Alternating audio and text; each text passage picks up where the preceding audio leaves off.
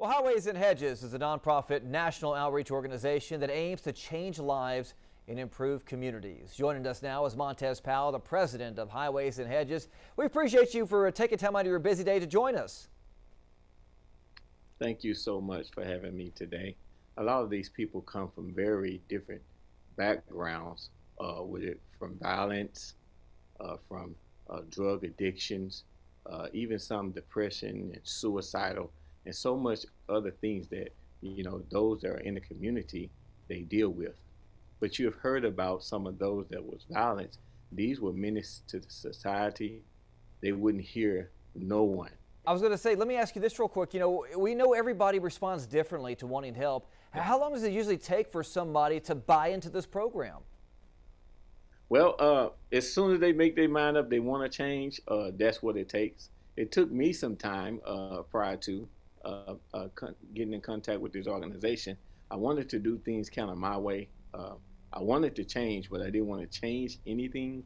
And we all know if you keep doing the same thing over and over, you know, and expecting a different result, so they call it insanity. So, you guys are hosting a march coming up on Saturday in Beaumont.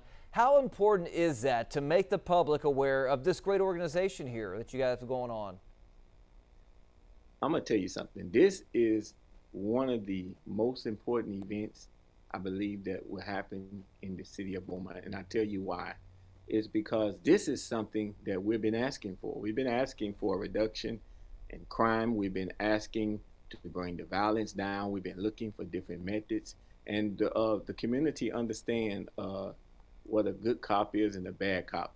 We like to call ourselves spiritual cops, you know, because uh, the police they have a difficult time reasoning with the drug dealer because the drug dealer don't want to talk to the police officer. He feels that the police officer trying to trick him or investigate him. But we come out of these environments. And so the importance is is uh, having all of the leadership in the community to come out and show their support of the change that they say that they desire and come and, and actually show their presence and show the people that we are standing with you you know we we want this change. We, we're going to be here to help. Even those that may be business owners that may be looking for those uh, that actually uh, need a job to show the community needs to show we are ready to embrace those that are willing to walk a new way of living. There you go. Montez hey before we go tell us when the uh, walk is the march is where's it going to be at and what time does it start? We're going to line up in best buy parking lot and we're going to march down Crow Road all the way down to Folsom, uh, right by Refuge Temple Ministries. And, and we also partner with the Refuge Temple Ministry to bring a revival into the community. And so this is also going to be a three-day event. Uh, um, and I'm going to tell you something. It's going to be a sight to see. You don't want to miss this event.